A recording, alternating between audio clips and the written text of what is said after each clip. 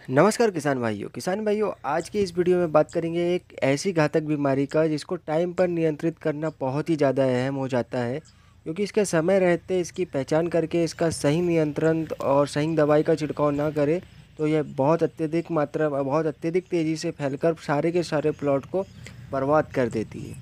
और इस बीमारी को पहचानना, किस तरीके से पहचानना और इसका क्या उपाय, किस टाइम पे कौन सी दवाई का छिड़काव करना है, जानेंगे बहुत ही आसानी से इस वीडियो में। तो बने रहिएगा अंत तक। तो किसान साथियों, टमाटर में इस बीमारी को अपन बैक्टीरियल ब्लाइट के नाम से जानते हैं, जो कि बैक्टीरिया की वजह से आती है। और जिसका सिम्टम आप देख सकते हैं, टमाटर के फ्रूट पे कुछ इस तरीके के ब्लैक ब्लैक कुछ डॉट रहेंगे बारीक बारीक चलकर, जो फल को डैमेज करती है और फल में मतलब फल को ख़राब कर देती है, इसकी मार्केट वैल्यू बिल्कुल ख़त्म कर देती है।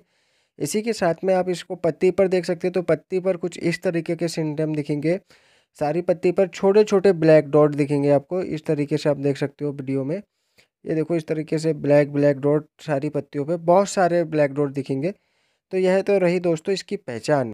यह पहचान दोस्तों और यह इस बीमारी का नाम है बैक्टीरियल ब्लाइट दोस्तों, बिल्कुल भी कन्फ्यूज़ नहीं कन्फ्यूज़ नहीं होना है। आपके प्लॉट में इस तरीके की समस्या देखती है तो आपको बिल्कुल आसानी से पहचान कर लेना है कि यह आपके प्लॉट में बैक्टीरियल ब्लाइट लग चुका है। अब दोस्तों बैक्टीरिया जो होता है सूक्ष्म जीव होते हैं सूक्ष्म जीव के अगर बात कर ले तो ये तीन प्रकार के होते हैं सूक्ष्म जीव जैसा कि आप जानते हैं। तो पहला हो गया बैक्टीरिया, दूसरा फंगस और वायरस।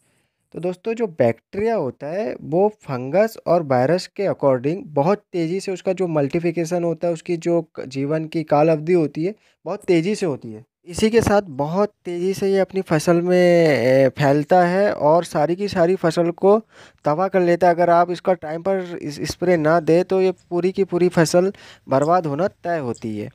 अब बात कर लेते हैं दोस्तों, इसके लिए किस एटमोसफेयर में यह ज़्यादा अटैक करता है? तो दोस्तों, यह ठंड और बारिश के टाइम पे जो सीज़न होता है, ठंड और बारिश के टाइम पे, जैसा कि अभी चल रहा है, इस टाइम पे बहुत ज़्यादा अटैक करता है, बहुत अधिक मात्रा में अटैक करता है और बहुत तेज़ी से यह फैलता है यह रोग।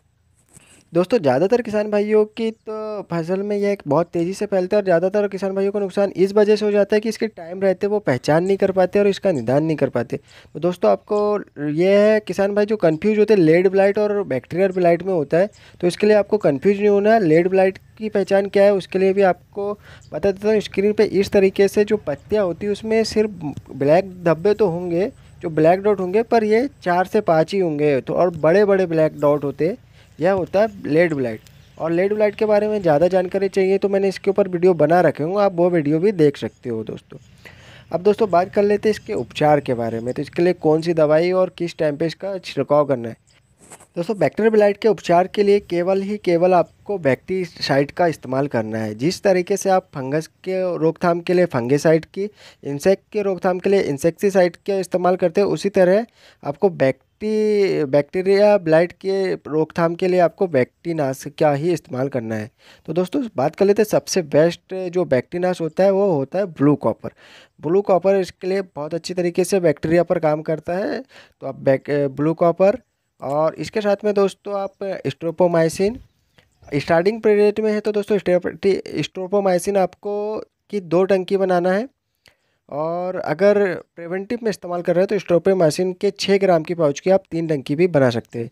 इसी के साथ में दोस्तों कोनिका बायोमाइसिन और प्लांटोमाइसिन और जितने भी प्रकार के बैक्टीनाशक है बैक्टीनाश है, उनका आप इस्तेमाल कर सकते हैं उसके रोकथाम के लिए। और दोस्तों साथ ही में आप फंगेसाइड के साथ यूज़ करते हैं तो कुछ फंगेसाइड ऐसे आते हैं जिसमें बैक्टीनाश मतलब एंटीबायोटिक होती है, साथ ही में मिली होती है, आप उन फंगेसाइड का इस्तेमाल करके भी इसका रोकथाम अच्छे से कर सकते हो। और दोस्तों, ऑर्गेनिक में आप चाहते हो तो हल्दी भी दोस्तों आप जानते नहीं होंगे, हल्दी भी एक प्रकार का एंटीबायोटिक और बैक्टीनाश का काम करती है तो दोस्तों आप हल्दी का भी यूज़ करके अगर कम मात्रा में, प्रिवेंटिव में इस्तेमाल करते हो तो हल्दी के थ्रू भी इसकी रोकथाम कर सकते हो।